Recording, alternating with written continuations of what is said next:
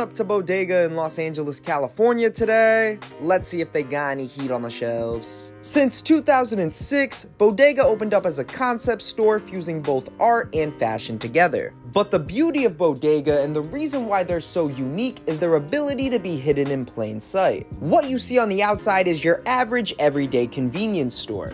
And as you make your way inside, you're welcomed in by a one of one retail streetwear shop. They offer plenty of today's most desired streetwear brands in all of their kicks, apparel, and accessories. When it came to their selection of kicks, you could find anything from a pair of off white Air Forces to a pair of throwback Charles Barkleys. And when it came to their apparel and accessories, they had multiple brands to pick from. From Kenzo to Diesel to Billionaire Boys Club and Carhartt, the list just goes on and on. Now, y'all already know how I feel about Bodega, but for the viewers at home, do you think it was worth